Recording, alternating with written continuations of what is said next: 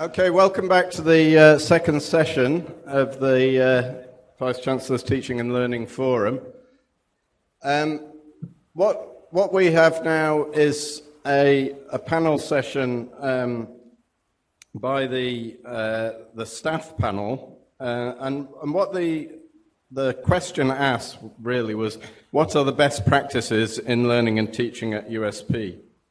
Um, and we're going to follow that after lunch by the student panel, which we're going to ask a slightly different question uh, of, which are are students learning the positives and challenges? And hopefully, what we'll be able to get from the two panel sessions is a is a, a real idea of what the congruence or otherwise is between the staff and the student perspectives of some of the new uh, learning technologies and broader issues as well. So uh, I'm really hoping that this will be an interactive panel session, that we, we don't spend all the time talking uh, to the audience, but that we do spend some time afterwards, and, and we've left plenty of time in the, in the schedule for there to be questions and answers.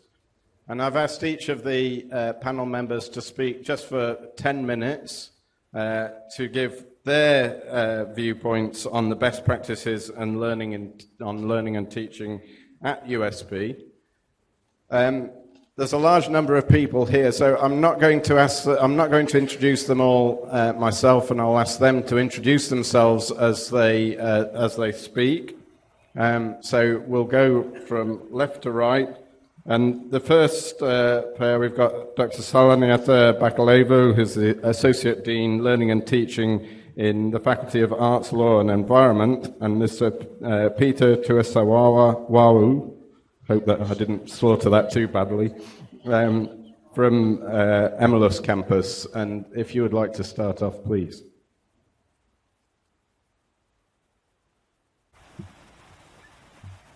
Thank you, um, members of uh, SMT uh, colleagues and students here on Laucala campus and uh, our visitors from the Ministry of Education.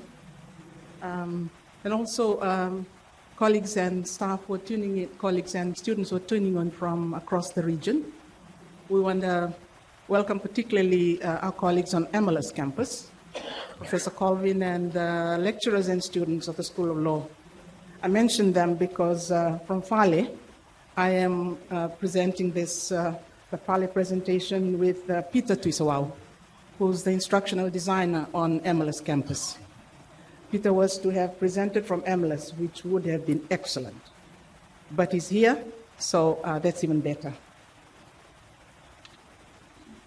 When the, the, the, consultants were here for the CFL review a couple of weeks back, uh, they visited Emalus campus, and uh, one of the activities that uh, was presented to them was Peter uh, giving them a demonstration of some of the good things that they're doing in the all, uh, on, online courses at uh, in the School of Law, uh, especially in, in, the, in, terms of interactive components, uh, the use of forum, and choice features that they were using. I'm told that uh, the consultants were impressed with the quantity and the quality of interactivity in some of those forums. That's why we are privileged. I'm very happy that Peter is here to share some of those in some of the slides that we will go into. But um, thinking about, or can I just correct it, FALE, Faculty of Arts, Law and Education, not environment. You said environment. when we're talking about uh, the titles, he mentioned about the titles of the presentations today. Ours uh, on best practices and what we're doing right. And later on in the afternoon, um, the, the students. Um, and about um, whether they are learning, I couldn't resist picking up one of my best um, cartoon strips. I know it's university, but cartoon strips are, are, are an all-time great, and that's the one um, that I use for, with teachers all the time, and particularly um, they generate different viewpoints about learning and teaching. And I think I heard this morning that particularly as we are moving towards more the e-learning modality, the, the, the new, the changing roles of teaching and teachers. And, and when, when I use these, I usually come up with different subtitles for this one. Um, for this one, for today, I want to use that title. Can there be teaching without learning? And I'm sure by the end of today, we will get some responses, particularly in the afternoon, from students regarding that. But I would like to focus on one of the only one of the characters in that cartoon strip. That one. The one who's saying, Where is the evidence? And for us, therefore, the evidence is in quality outcomes because that third character uh, represents the many people who have a stake in what we do in teacher ed, the teachers and, and uh, the principals and the community. For students is would be um, um, employers, um, scholarship providers, just the community at large were looking to us for, for evidence. And we talk about quality outcomes, uh, quality programs, uh, the STAR activities uh, over and over again, and we're going through those again. This morning, transformative pedagogies that we're into. Uh, for us at TEREC, we have uh, a Teachers Educational and E-Learning uh, Resources Center where we are trying. We haven't got there. MIT is way, way ahead, but we are trying to get there, and we're looking for IT champions. We're looking at um, IT um, enhanced teaching. And there is quality in student support and fit for purpose assessment. In our presentation, we will look simply at two items, student learning support. And in student learning support, well, it's important for us because that's where teachers collaborate with student peer mentors. It's not about one group, it's about them working together to improve quality of learning and e-facilitation that uh, Peter will, will come in for. This doesn't mean that the schools are not doing anything. The other schools are not doing anything, far from it. All the schools are doing a lot. And hopefully, next time when there's another forum, we'll talk about what's happening in the other schools. Student forums are very, very important. Very important because that's where student voices are heard, that's where they have their say. We had one of these uh, recently. It was special because it was full house, just students. And they were listening to their senior peers talk about what the student, uh, their senior peers thought about graduate attributes. This is moving graduate attributes to students. Do they believe in the graduate attributes? This is student outcomes. And so, for a while, I, I want you just to listen to what one of the mentors talked about. She's talking about her take on two graduate outcomes Pacific consciousness and critical thinking. Had it not been for my critical thinking, though, I would not have been more appreciative of Pacific cultures the way I am now. I admit I understood other cultures existed, but being able to critically think about the stories from these other cultures allowed me for more information.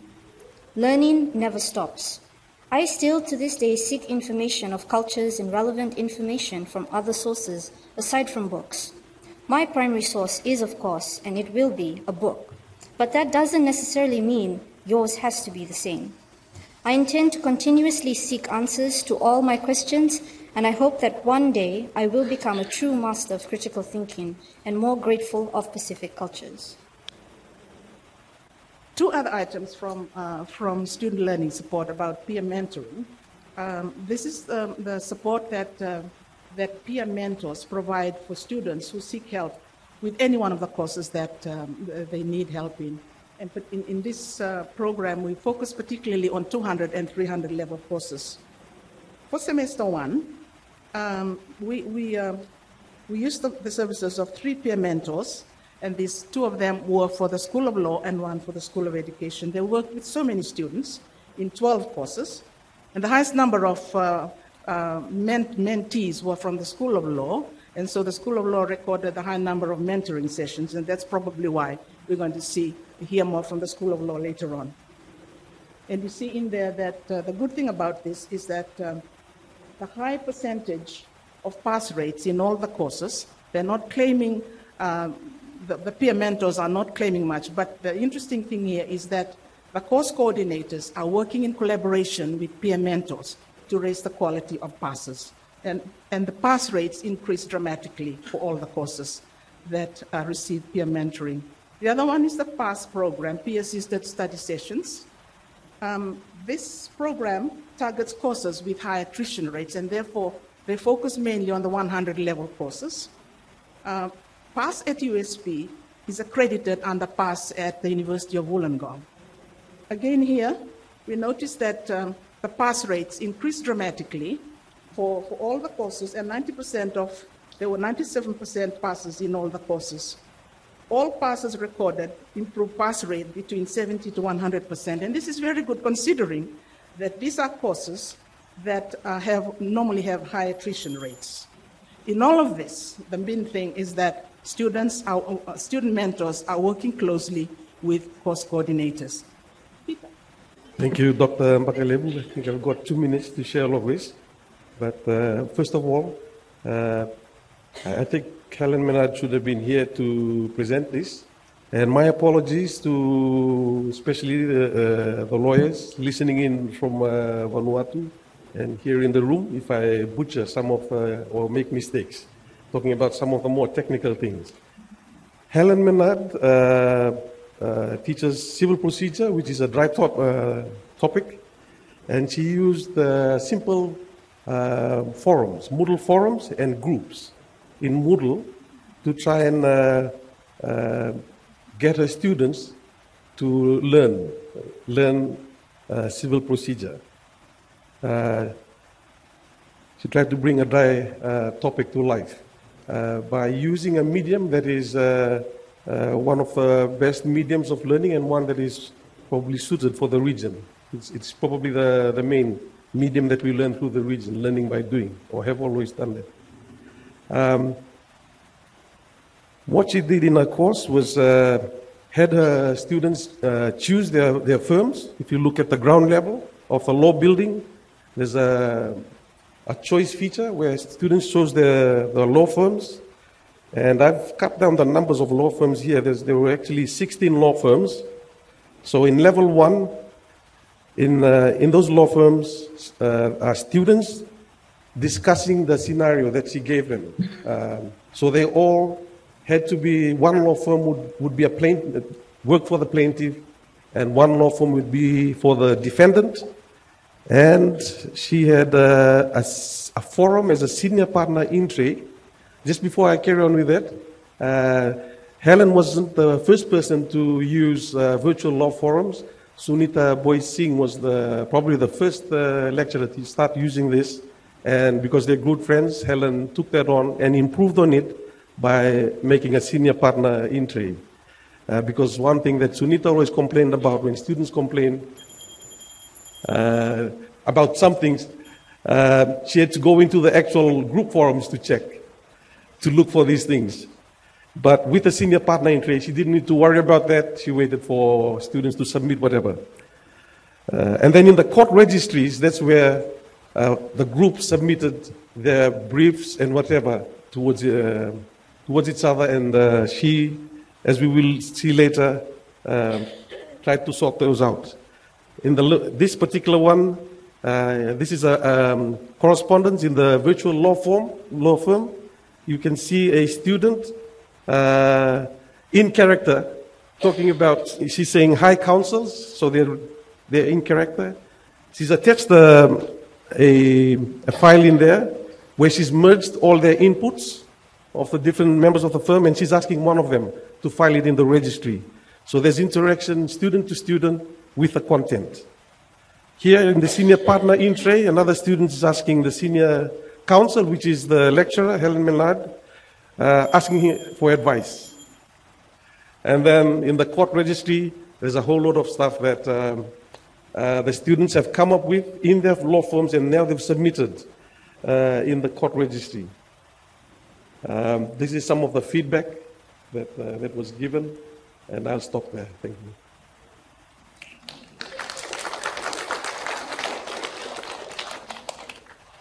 Thank you very much, Peter. And I think we'll wait until the end and have a discussion on all the panelists, if that's okay. So the, the next speaker, just going in line along the table, would be uh, Associate Professor Mahanti, the Associate Dean for fac- uh, Faculty of Business and Economics. Thank you, Jan. Uh, so my presentation, as we see, the best practices in learning and teaching at the USP. So my outline of presentation. I'll go for brief introduction and best practices of uh, teaching and learning. How do they help? And two perspectives I'm going to touch. The basic elements of best, uh, best practices and teaching and learning, and what are the best practices we are following in USP and the faculty, and some concluding remarks. Going to the introduction, already so much we have heard in the morning, and uh, you know, no doubt transformation is taking place. Global learning and teaching transformations, educational technological transformation, ICT revolution, and more importantly, there is a paradigm shift we have heard, teacher-centered to learner-centered or student-centered. That is the main focus in this uh, world of transformation. So, how do best practices help? First thing, to motivate the learners, to develop passion for learning, to engage the learner actively in learning, as we have heard, active learning, that is the main focus, and ultimately to achieve institutional growth and excellence, which we are uh, uh, hankering for. So, the two perspectives in this, no doubt, student perspective and teacher's perspective. We heard also from Professor uh, Vijay Kumar in the morning today. The student perspectives to learn, think, debate upon, and achieve. And to engage in learning activities rather than passive receiver of knowledge. That's what we have been hearing. And to interact with others, to construct from new concepts, ideas, and ask questions. That should be the focus. And you should be output driven, output oriented. And to become a lifelong learners. These are the, and then we can say that best practices been happy. And from the teacher's perspective, providing the active learning opportunity, that also we heard in the morning from Professor Kumar, meet the individual student needs and teachers today as the main facilitators of learning. That's what also we heard about. And they have to give the constructive feedbacks.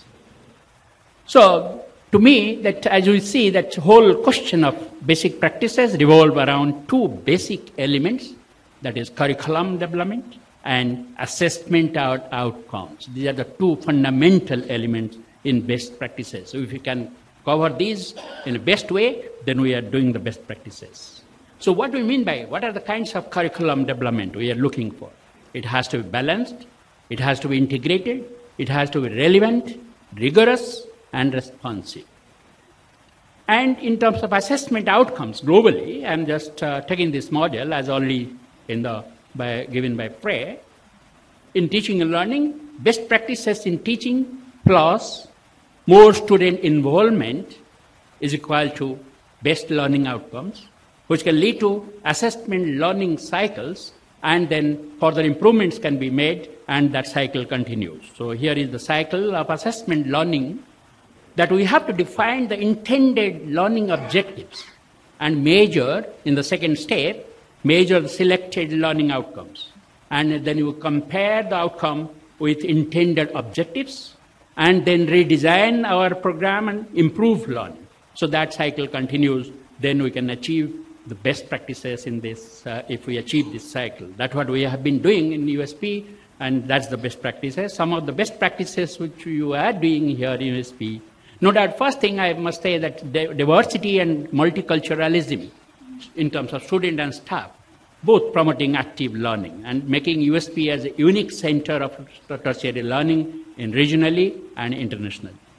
We have multimodal teaching deliveries, multi-methods teaching and learning like satellite tutorial, audiovisual, M-learning, all this coming up.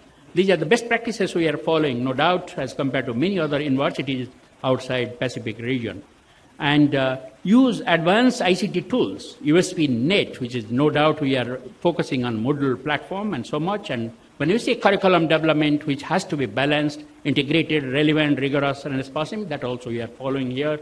And we are developing our curriculum ma- mapping and teaching learning award, as we have seen two persons got award today. So that is the best practice we are following as compared to many other uh, uh, universities outside.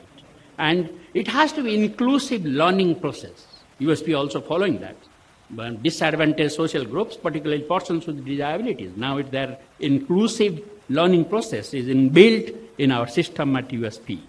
And in terms of assessment outcomes, we have course, program, institutional, graduate outcomes we are talking about. And today morning also we heard from Professor uh, Kumar We are talking about formative as summative, and that is being again inbuilt in our uh, system in USP. We, when we are talking about formative assessment, we are talking about assessment for learning. When we are talking about summative uh, assessment, we are talking about assessment of learning. So it is for learning and of learning. That's what we have. We are using. That are the best practices. Moodle Gradebook, Student Evaluation Survey. These are uh, external review and assessment programs and quality auditing and assurance, all these things which we are doing, that's the best practices we are doing here in USP.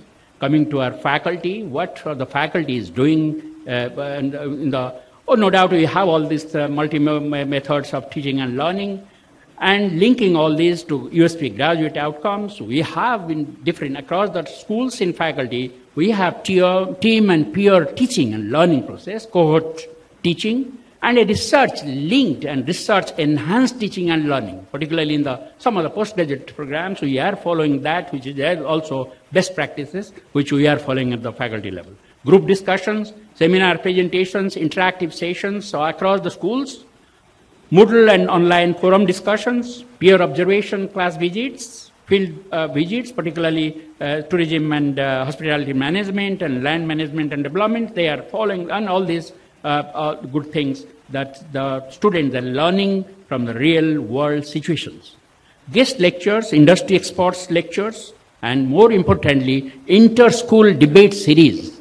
That is very much very active and, our, and in, uh, in our faculty. And I must say that we are also getting response from outside. All debate series we are and, and we are participating outside also, not only at the faculty and at the university level. So other practices like student learning support systems, mentoring, on one-to-one consultation, academic reading skill enhancement is happening in across the faculties, the, the university level. More importantly, in our uh, faculty, time management session, goal setting session, assignment planning, all these sessions from time to time workshops have been conducted at the uh, faculty level. And similarly, the first year experience uh, situation, we had probation students workshop to know what are the problems the probation students they are facing. So that's also another good thing we are doing at the faculty level. And course coordinators meetings, particularly the first year student. What are the problems? Coordinators, they have to pinpoint, then we can strategize what to do, what not to do. And we have faculty student association, particularly the accounting and finance student association, economic student association, tourism and hospitality student association, TASA, APSA, and ISA, they are doing good job, at least involving our students. So some of the mechanisms and uh, for teaching and learning practices evaluation, we have student evaluation survey and feedback of the courses, tutorial visit reports, internal teaching reviews by this ways, uh, class visits, peer review, and regional campus directors reports on delivery of courses, what, how we are doing, not doing, and course outline auditing, student evaluation responses, and teaching staff action plan. These are the, some of the mechanisms we have to evaluate ourselves. And assessments, no doubt, across the university and also in the faculties, we have all these uh, marking schemes and rubrics with regular feedback. Fit for purpose assessment, which is followed by tourism and hospitality man- management, marketing plan, business plan, menu planning and designing. These are all fit for purpose assessment, which is also a good thing we are doing at the faculty level team and cooperative learning with self and peer assessment, again followed by tourism and hospitality management. To conclude, I must say there is a need to change learning and teaching dynamics to respond to global transformation, which we are doing. Technological changes is uh, happening and competitions to achieve, to move from good to excellence. And the best practices in teaching and learning are effective practices which you have been talking about and Vice Chancellor has already pointed out and that is measured through learning design and learning analytics, which we have lots of data now and we are analyzing that. The best practice is the outcome based teaching and learning. It has to be outcome driven and with greater student involvement. That is the active learning process. I'll just conclude by saying Benjamin Franklin, by quoting this Benjamin Franklin, who said, Tell me, and I forget. Teach me, and I may remember. Involve me, and I learn. Thank you very much. Thank you. Thank you, Dr. Mahanti, for a very uh, broad overview there of the FB best practices.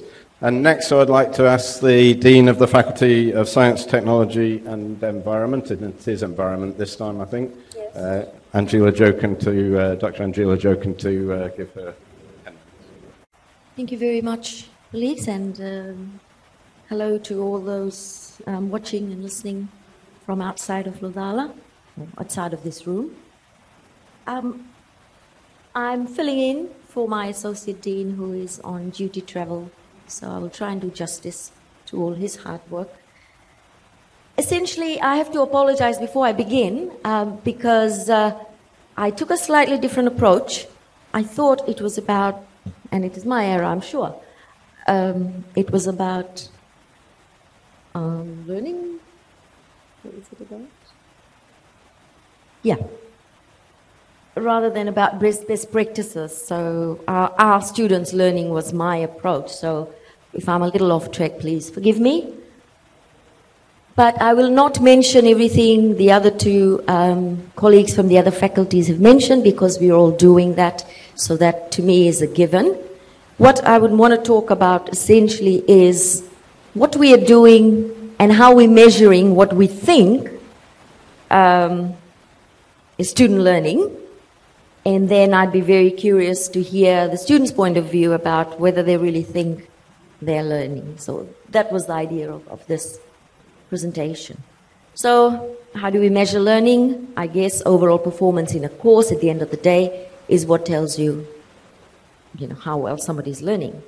And of course, three main ingredients of learning is the support that's provided, the enabling environment, and absolutely necessary commitment by the learner. Um, I'll just take one example of uh, last semester. These are the things we did in addition to the normal day to day teaching. So, this was the extra support that we provided. And I wanted to share some data with you to see how effective some of these have been in bringing about learning. Right? At risk students, as you know, our regulations demands that we get these students by week seven or so and then do something to help them. So the at-risk students identified was about 523 last semester. Oh no, sorry, 1390 last semester in all of these courses, and these were given um, extra support, remedial classes, so on and so forth.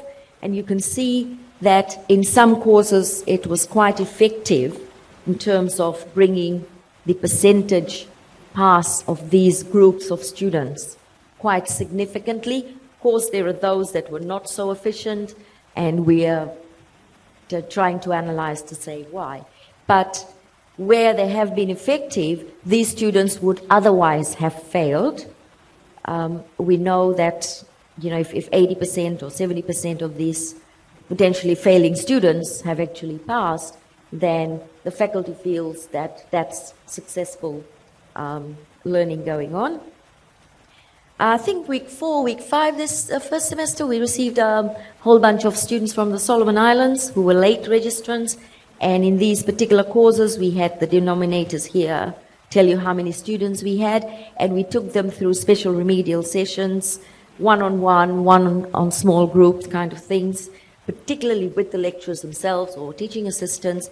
And we found that, you know, these students, most of them had 50% or above pass rate. These students would have been bound to have failed. We know that we don't, as a rule, take students in after week two in, in FSTE because we know the failure rate is extremely high. So, something good's going on there. Probation students, we were given a probation list in uh, February this year. We contacted them, each one of them individually, got them together. And again, the denominators here tell you how many students there were in these courses. And we found that, again, homing in, going one on one, supporting these students throughout the semester, most of them actually had, but most of the courses had more than 50% pass rates. These students otherwise were unlikely to have returned. Peer mentoring, all faculties do this, and peer mentoring, I think, is a hit. It's every time it shows that peer mentoring works. You can see a percentage of. There is one one thing to note, though, for peer mentoring that uh, we encourage um, students who need support, but students who don't need support wish to get peer mentoring. We don't stop them, so it's it's a bit of a mixed bag. And here, of course, it's either one mentor and one student or one mentor and a, and a couple of students. And it's a very um, sort of one on one special mentoring. And this is what peer mentoring um, essentially provides the students. The use of the smart, uh, our smart classroom is, uh, seems to be growing. Kids like to sit in that, uh, on that round table and, you know, work away all together and see things happening. So that's catching on fairly quickly. PASS again. PASS is like uh, my colleague earlier said, is really for the really difficult courses, and these are traditionally very difficult courses with low pass rates. And you can see that um, this is your control, where these students don't um, are not involved. You can see that as the number of sessions in PASS increases, one to four, five to nine sessions don't make any difference as such, but above 10, you can see there's significant improvement. And in the special thing about PASS is your mentor takes the show. They, they design the learning things, they organize their plans, they work with the students, as opposed to the, the peer mentoring, which is much more structured, and we work with the, um, with the lecturers there. So this is a much more free, you know, do what you want kind of learning. Remember, none of this is compulsory for any students. Of course, we have the early warning system. I'll talk a bit more when we actually look at the analytics of the early warning system. But the good thing about this is students have always shown a very positive response because, you know, you'll keep getting messages about when something is due or you're, you're not up to par with the other students and all that. And it's your personal interactive uh, mechanism which is working. Be, be, I'd be very curious to hear what the students have to say about this one, whether they think it's, it's effective or not, although our surveys show that they seem to like it.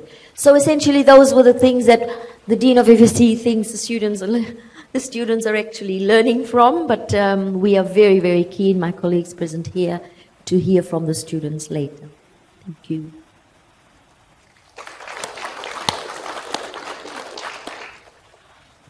Thank you very much, and thanks for um, uh, highlighting some of the issues and actually um, discussing some of the things that hopefully we can discuss more later. And uh, I, like you, will be very interested to see what the students have to say later about what the what the real uh, uh, uh activities are that they feel that are really working for us or for them.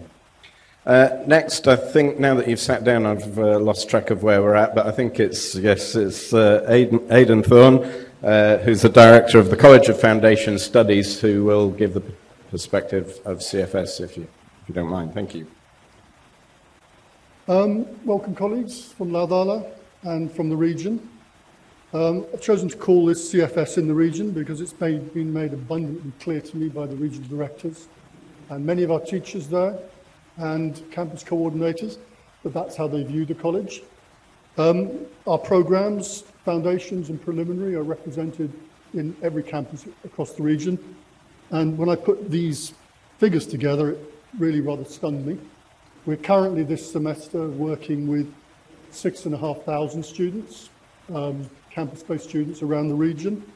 Um, that excludes the students who are coming from 40 secondary schools around the region. We don't actually deal with the teaching of them, but we do a lot of the admin and a lot of, all of the marking of their scripts, exams, and assignments. As you can imagine, with figures like that, that is one of our huge problems. And I knew that when I first took this job on, when I looked at the sheer size of the area that we had to cover, that the logistics were going to be the main issue. Um, to give you an idea of some of the departmental sizes, our language department is dealing with over 5,000 scripts at the end of each semester at the moment.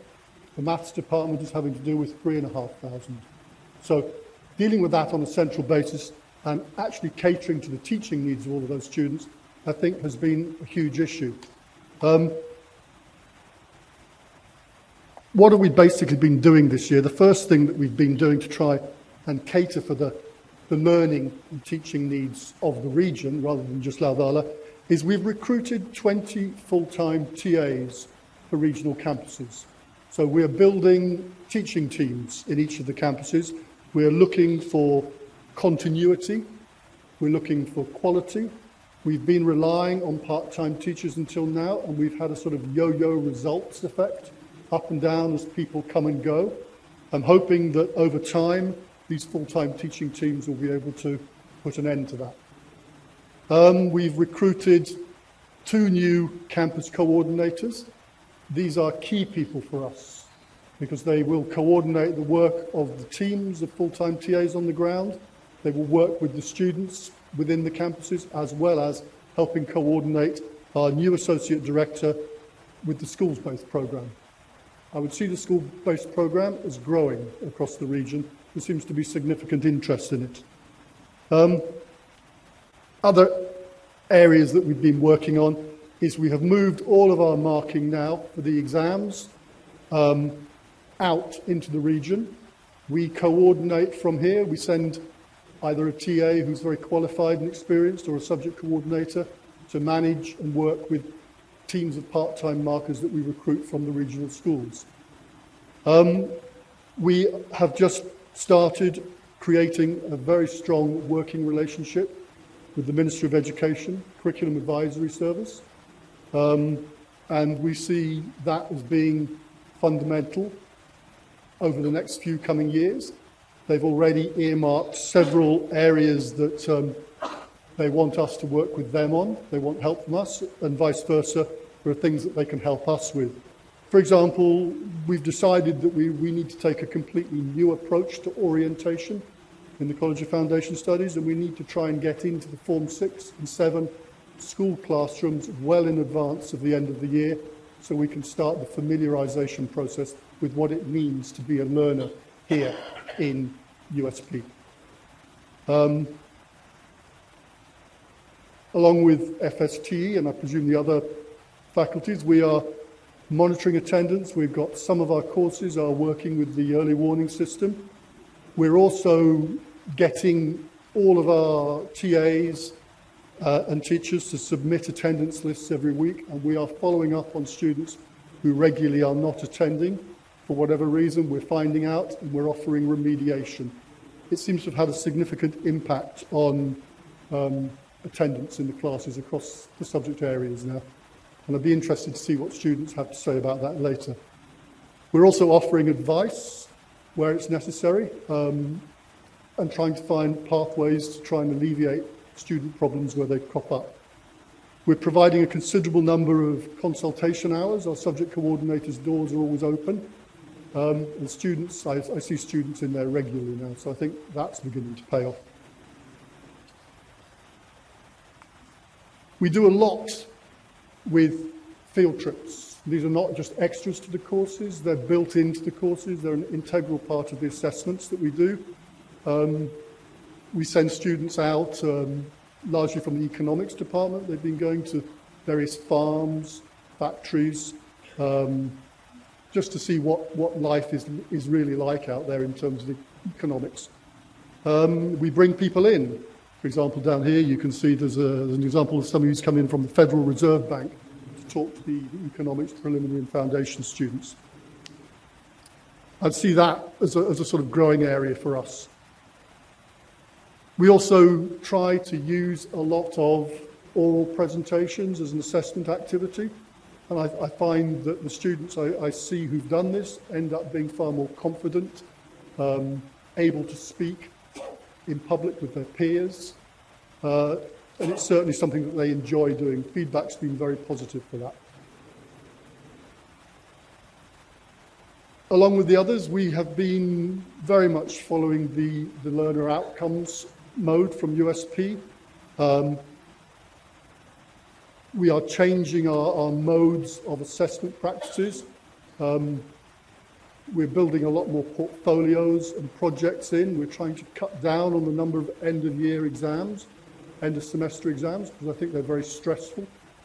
Uh, we're certainly look, working very closely with FSTE on, on the sciences and what we're doing in terms of course review and assessments. Um, feedback I've had from students is uh, at the moment that there is quite a heavy stress level in terms of the sheer volume that they're having to deal with. One of the other things we're doing, and this is fictitious data by the way, is we've been working very closely with FSTE on this, and it's something that we'll be spinning out across the rest of the faculties as part of our feedback, because we're trying to work with the students, trying to get to know the students, who they are at a very early stage. Um, we're looking at where they come from, We have multiple entry points. We're looking at how many of those people actually make it to the exams, how many of them pass or how many of them fail. And we pass this data along, along with lists of names of, at a slightly deeper level, uh, borderline passes, because these are the ones that we see as possibly having problems in year one courses, and they need to be picked up. So this is the type of thing that we're presenting with now.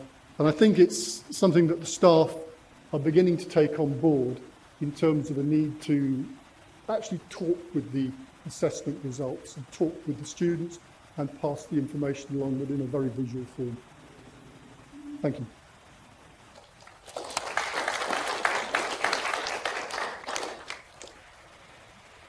Thank you very much, Aidan, for that perspective from the College of Foundation Studies. And finally, uh, I have to uh, thank Aroni Radule for, uh, for standing in for Teresa at very late notice, so the acting dean of uh, the uh, Centre for Flexible Learning, who uh, couldn't make it because she's ill. So, uh, Aroni, thank you for, for coming and giving her presentation. Greeting colleagues. To those of you tuning in from the region, uh, Big Bulavanaka. So, uh, what we'd like to present today is uh, on the issue of orientation, the, the importance of orientation in uh, teaching and uh, learning. So, hopefully, by the end of the presentation, you'll be able to tie this into the to the theme of the the theme of this uh, panel discussion. Um, orientation, one would argue that um, it's, it's really important. It's used in the employment industry. It's also used in the um, education industry. Here at USP, we we sort of uh, uh, allocate one whole week prior to the semester for, for orientation. And it reduces anxiety for someone who's transiting into a new environment. Uh, but for, for the purpose of this presentation, I'd like to argue orientation for online learners, uh, learners who are transiting from a, from a different mode, from a different mode of study, coming into online. So based on the literature uh, out there, I just managed to pick out, uh, there's quite a lot, but I, I want to focus on three points. Uh, one is um, learner readiness uh, for, for online learning. So before uh, someone enrolls into an online course, they should know uh, the expectations of, of uh, online learning. And um, for that to happen, there's, supposed to be some sort of pre-test before the learner actually enrolls. And once the, once the learner is uh, in the course, then there needs to be appropriate support. when I talk about support, I'm referring both to academic and non-academic support. So this was mentioned by Hughes from Athabasca University.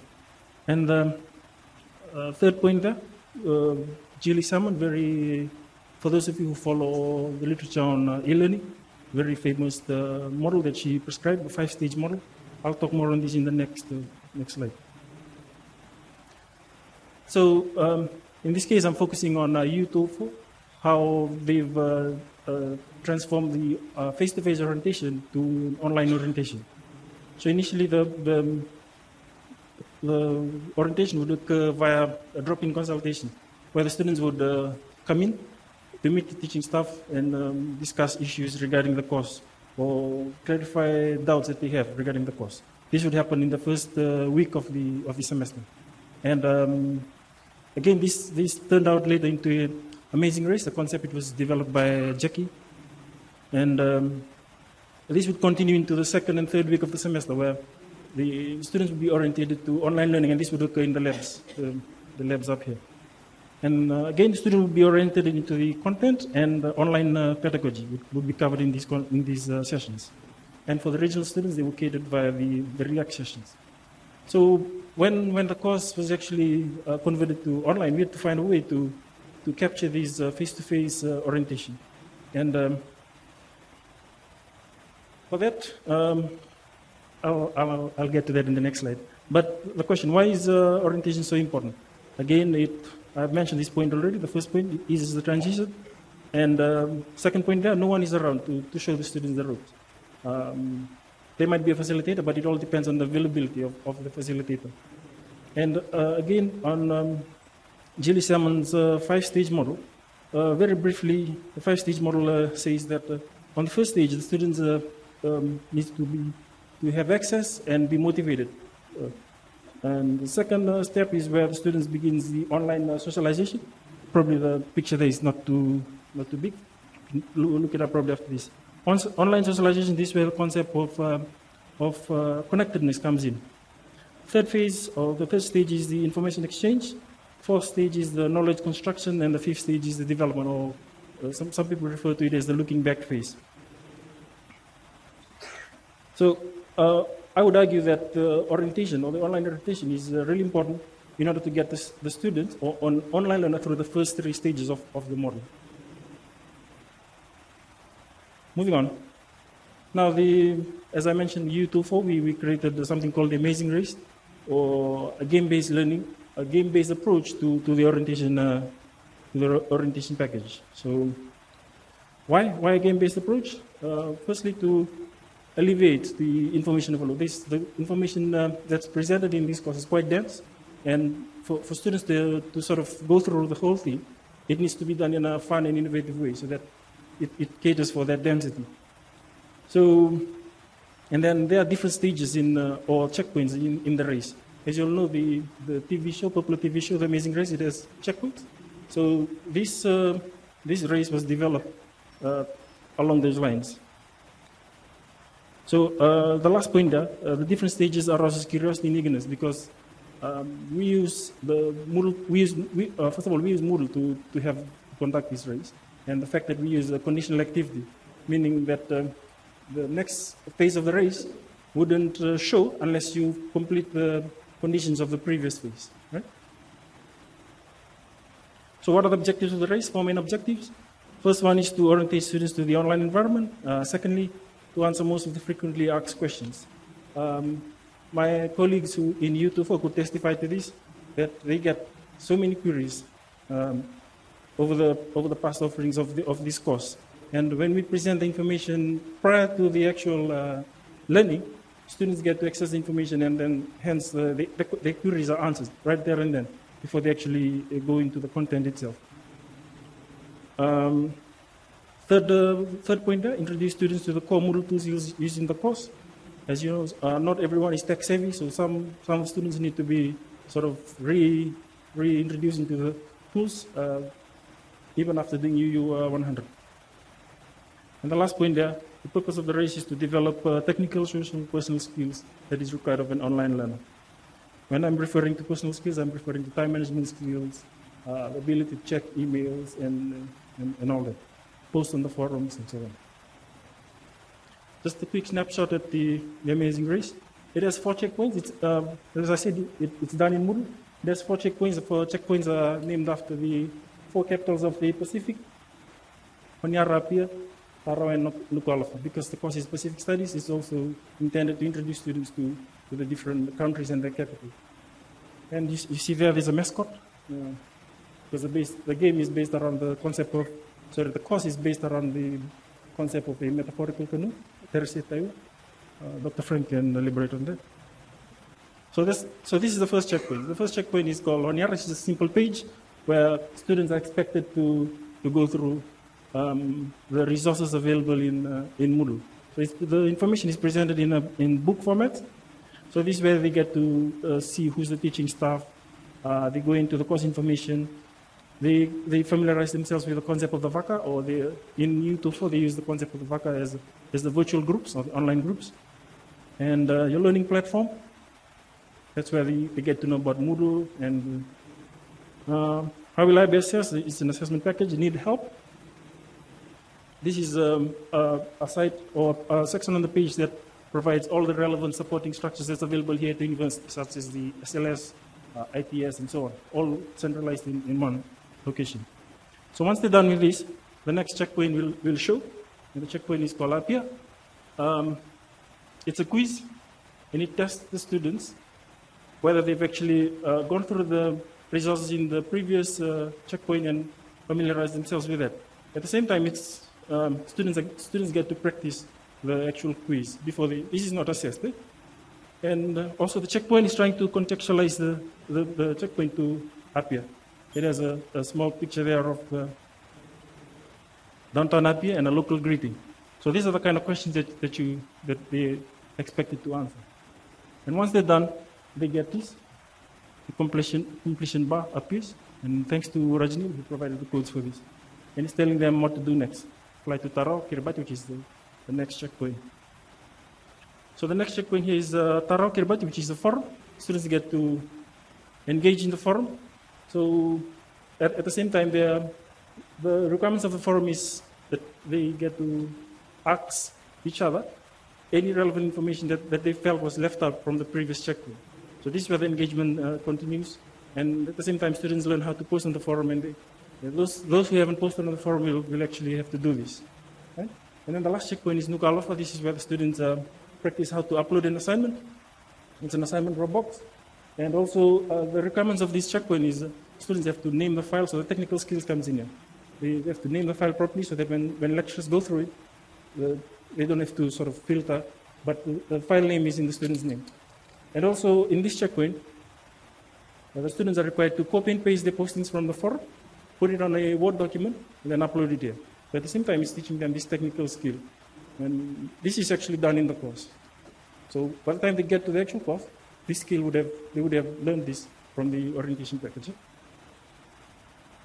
Just some feedback from the students. There were seven major themes emanating from this.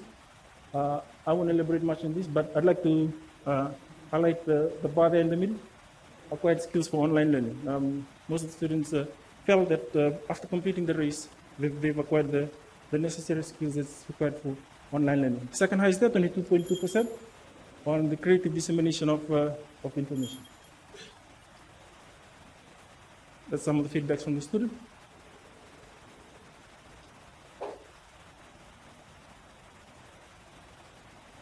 So just the last point there. It is good that you cannot move on to the next stage until you have completed the each stage. This way you fully understand. So again, it's a work in progress, and uh, probably we need to uh, do uh, develop this further. Thank you.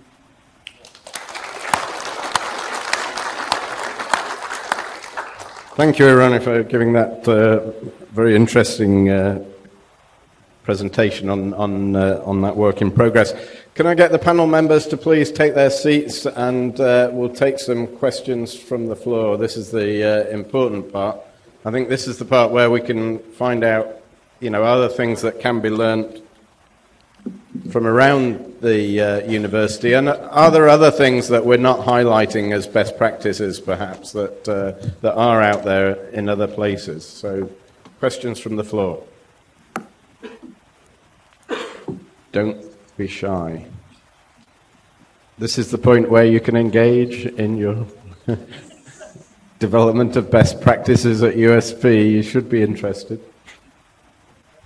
Interested in your comment about formative assessments, focusing more on formative assessments. Do you see a point where you'll do away with summative assessments? Too? Yes. Oh, you could.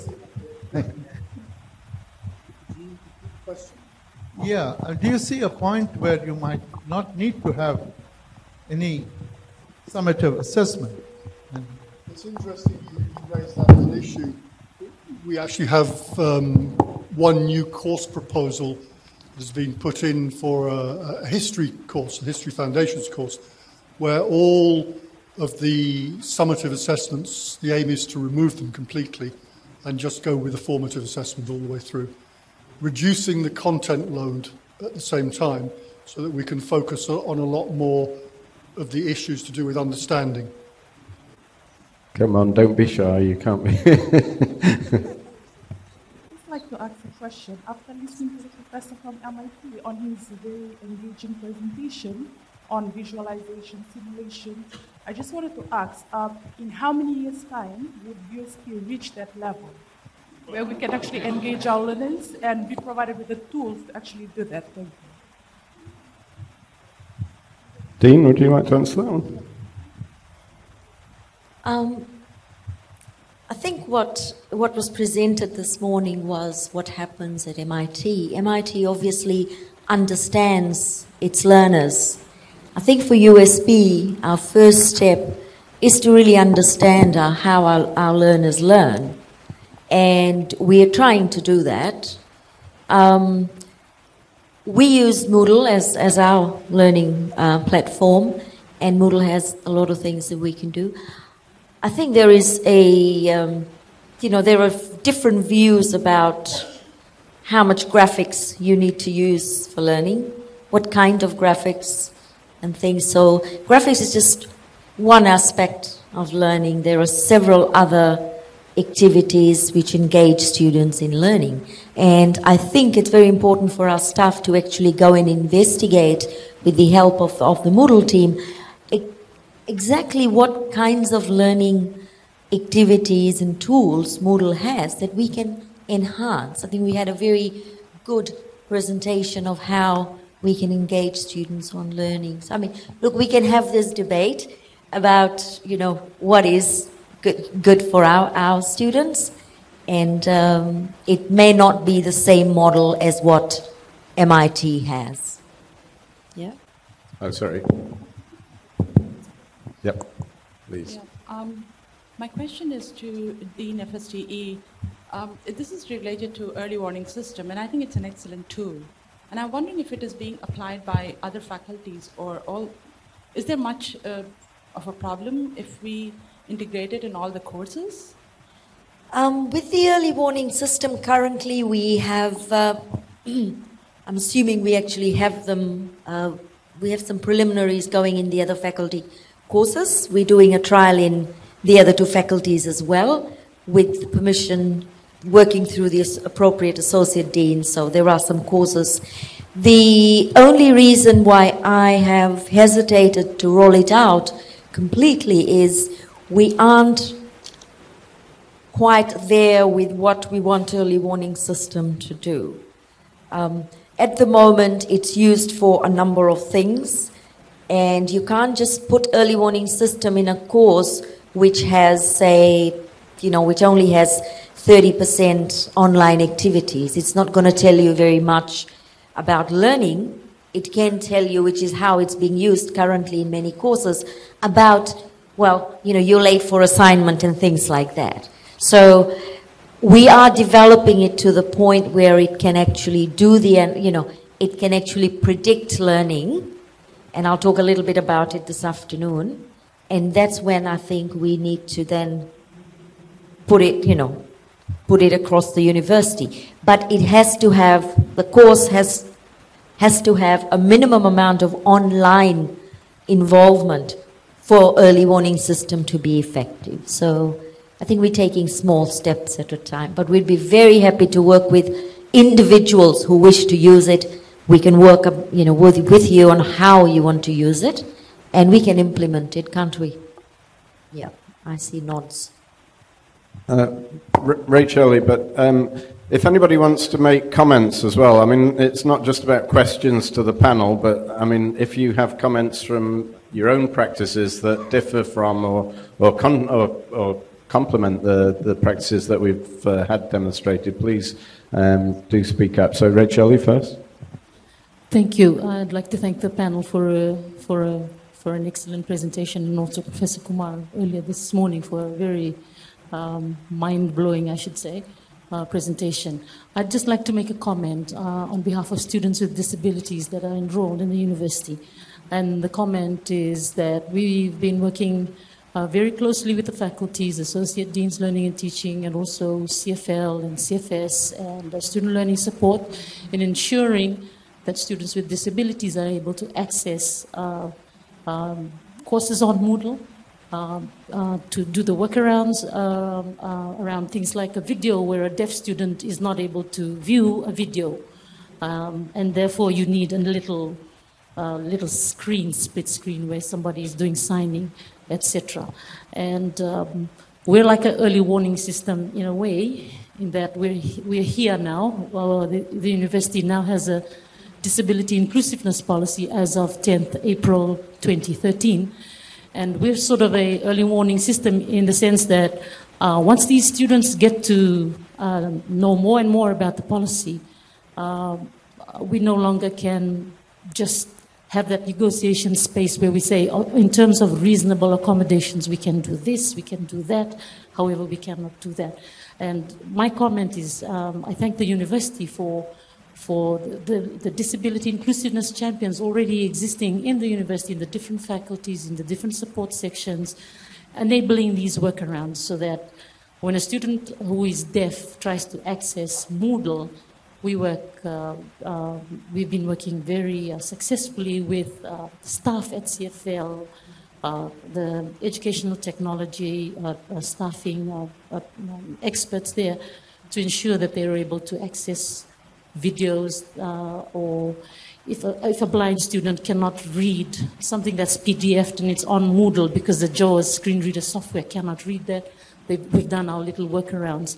Or like uh, uh, what Dr. Mishra um, did for us, uh, one of our low, severe low vision student who is not able to do a spot quiz uh, uh, immediately because of the logistics behind arranging for that student to have her paper done through um, collaboration with the Fiji Society for the Blind, for her to opt for an oral uh, spot quiz. And uh, I'd like to just make the comment to say thank you to the university and for those that have been working with the Disability Resource Center in ensuring uh, that students with disabilities also are able not only to access your courses and your, your online as well as face to face offerings, but also to uh, work with us in, in having these workarounds. Thank you.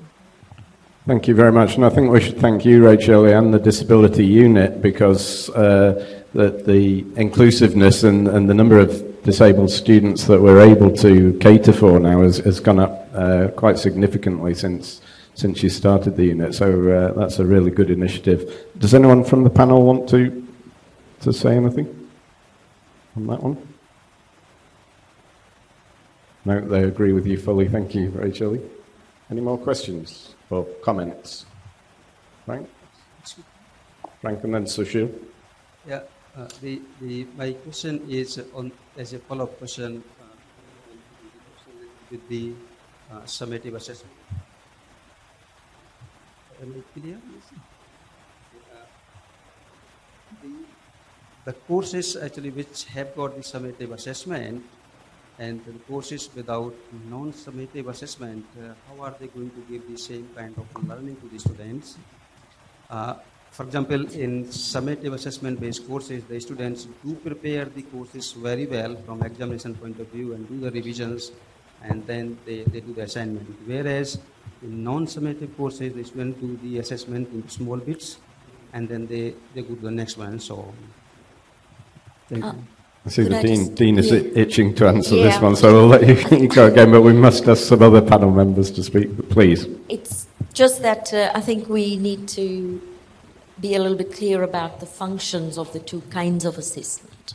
Formative assessment is essentially about in the learning process. Summative assessment is the end product of what somebody's learned. And USP is just developing, or is soon going to develop its assessment policy, we are, as we speak, we're all working on the um, assessments. You know, we've got the STAR project with your curriculum maps, your learning outcomes. We're now at the assessment stage. So assessment is going to stay and assessment is going to be summative at USP until it makes another decision because that just completes the cycle of the entire STAR process. I just wanted, that was just the broad mm. outlook of, and those of us who've been training to, for assessment um, with Jeff, we know that that's the next step that we are going. And it's all, and, and it is a combination of um, formative and summative. One, one, of the, one of the issues that was raised this morning by Professor Kumar was that, that, that speed of that turnover of the, the formative assessment is, is highly important in the learning process. Could maybe some of the other panel members tell us about are there any best practices at USP which are, are aimed at really speeding up that turnover and, and formative feedback process? Phone a friend if. Please, start. Um, I'm, I'm not too sure I understood fully the question, but I, I try to make a guess. Uh, uh, there are, um, for example, uh, in one of the law courses, um, there's weekly scenario based online tests for students. Uh, the assess the feedback for those, you know, they're marked online, but the questions are, um, are gray because it's law.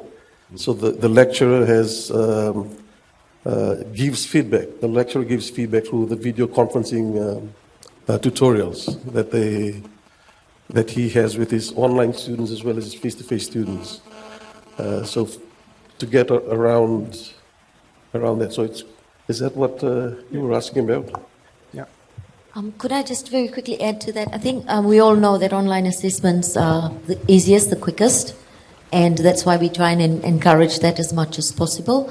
But uh, as part of the assessment policy, the university will have a minimum turnaround time for assessments, which is why we provide, based on student numbers, we provide funding for extra support so that the minimum, and we will actually monitor the, um, the fact that USP has now decided some time back that all courses will actually use the mark sheet on Moodle. It means that um, we will then be able to actually monitor to see compliance with the minimum turnaround time for the, um, for the assessment. So all that would factor in um, in that assessment policy.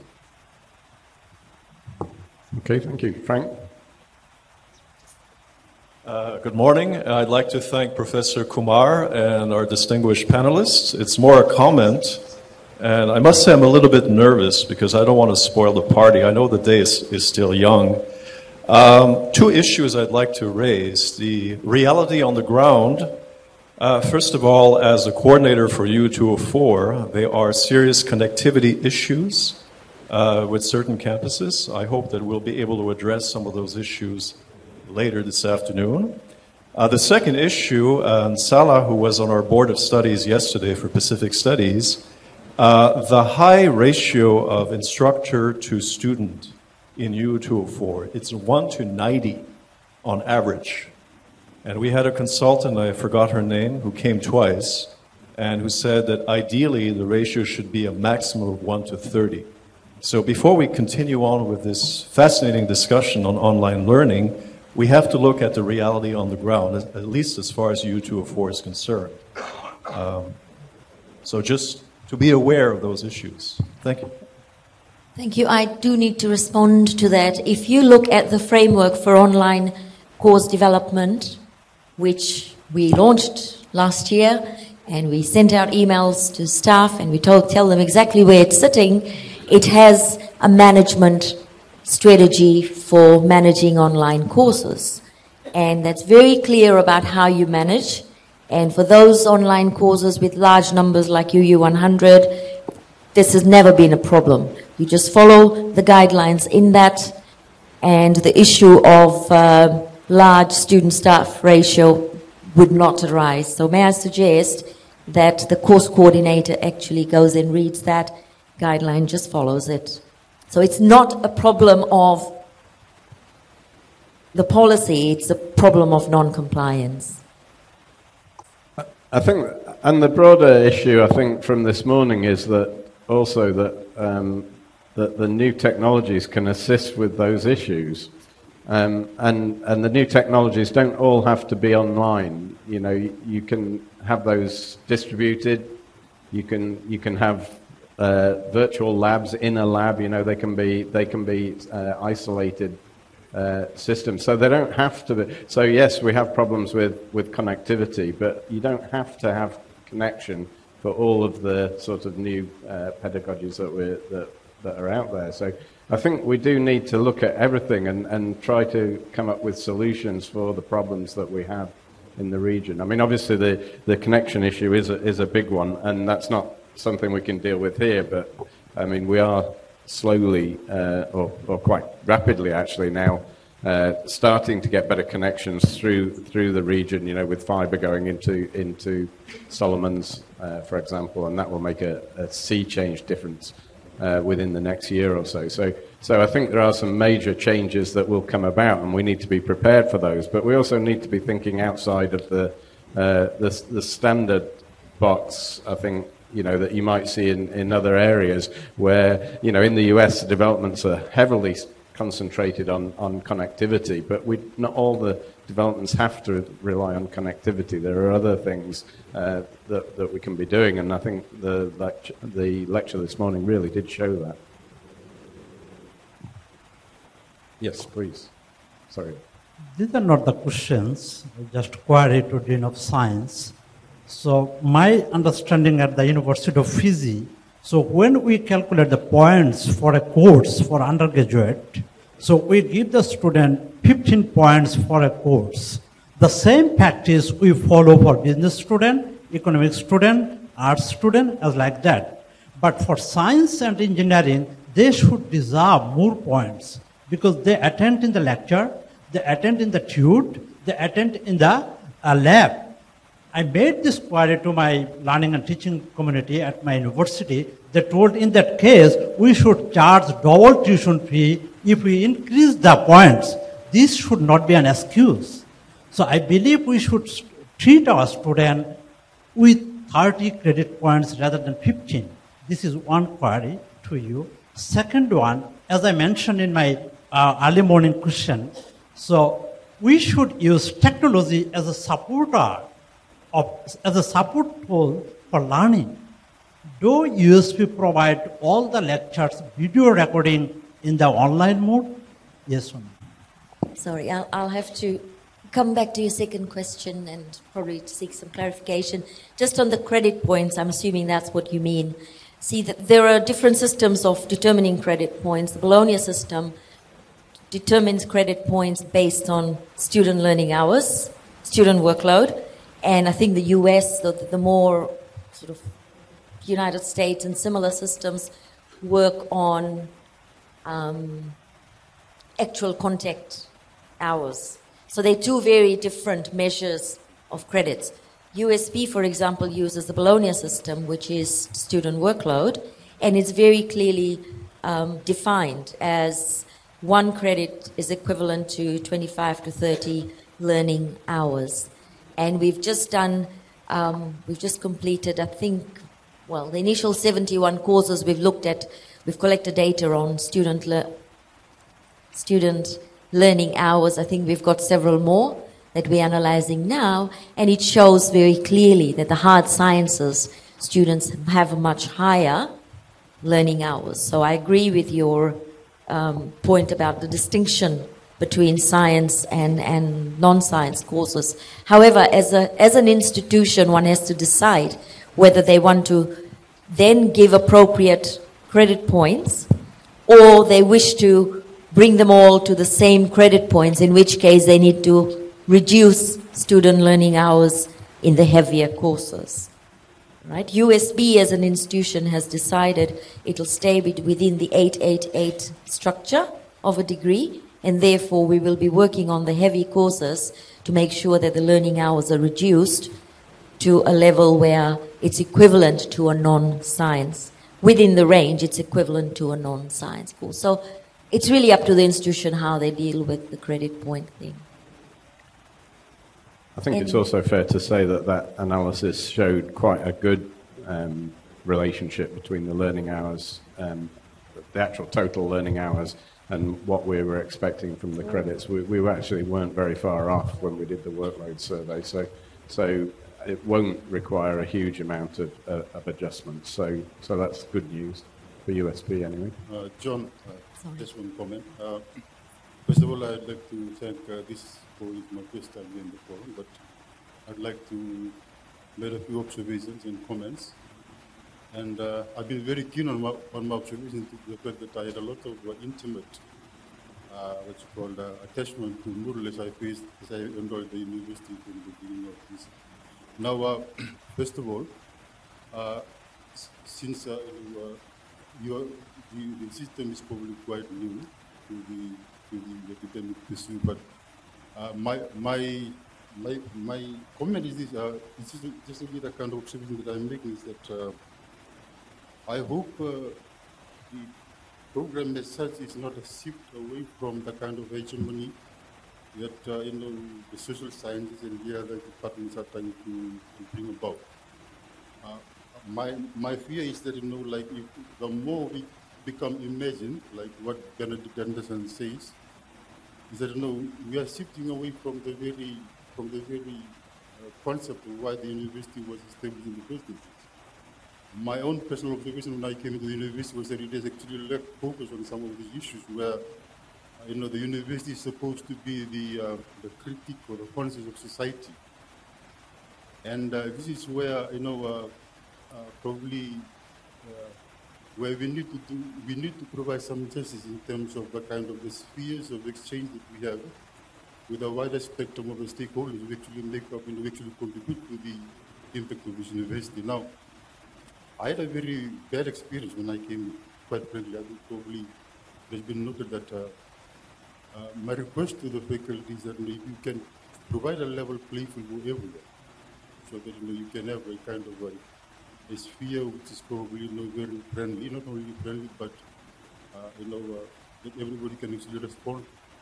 Now, why I'm saying this is that because of the fact that you know, we are in the Pacific, and we have a lot of our own values that we would like to, you know, to have. Apparently, you know, as you are, as you all know, as academics, that you know, there's a there's a sudden clash of this value because of the fact that you know that IT know, has done a lot of damages to and fro. Now, I cannot be hypocritical on that, but just because of the fact that you know there are values that we need to enshrine, there are there, there are values that we need to carry our younger generation that goes in sustainable environment, all this kind of stuff. Now, definitely, I'm sure, you know, Moodle was probably, you know, brought about as a result of that, but to the extent that, you know, it diminishes the very essences of the, you know, the magnanimous, uh, you know, the things that we have with one another, please can you be more, you know, uh, you know be more friendly in this. And uh, the other thing was that, you know, like I've noticed that um, not all of not all of us have access to Moodle you know, it's, it's probably no, no good to talk about, you know, case studies in situations like, you know, what Matonia was saying, you know, based on observation, because, you know, people do see- things from different perspective. But my own, my own request to the academic staff is, this, please can you, please on, can you try to, uh, you know, take into account the values of our specific cultures, you know, what we have. Because, you know, definitely not all these things can be incorporated into society. Thank you very much. You.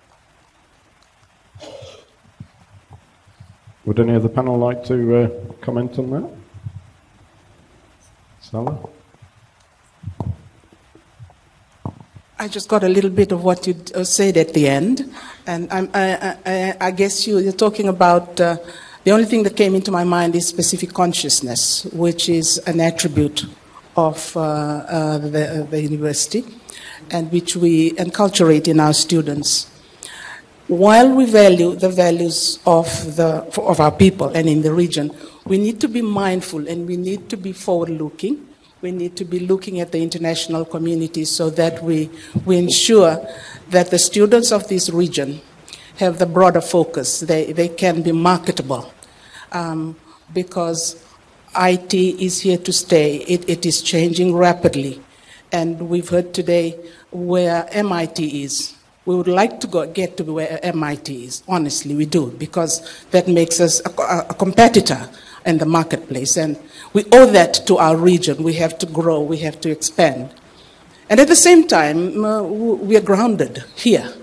Uh, so USP is kind of um, a sounding board where we're grounded, but we're also um, in touch with the international community, with our, with our uh, stakeholders, and um, we, we owe that to our people. We owe that to, to our students to have that um, focus and yet have, look out into to, uh, to the international community. And that's why we've got MIT here today, because that's where we want to be. We owe that to our people and to the region. Thank you. Thank you very much. Sorry, just to add to that very quickly, um, the the student or the graduate of USP uh, having a holistic growth is not about the academic program alone. It's about the whole whole experience that the student has, and ev- all of us who've gone through USP know that we earn a lot of the other aspects of Pacific consciousness, making friendships, understanding and appreciating cultures, comes outside of the actual formal curriculum. So I just want to assure students that if it's not taught in the classroom doesn't mean that we're ex- not experiencing it. And with that, I think we, uh, we're running out of time, so I would like to uh, ask us to uh, put our hands together for the, for, for the very good panel discussion. Thank you very much. Uh, there's a break now for lunch, and I hope everybody's going to be able to make it back to listen to the students' side of the uh, argument or the discussion. And can we please start promptly at 1.30? So uh, have about 50 minutes for lunch. So 1.30 prompt start, please, this afternoon. Thank you.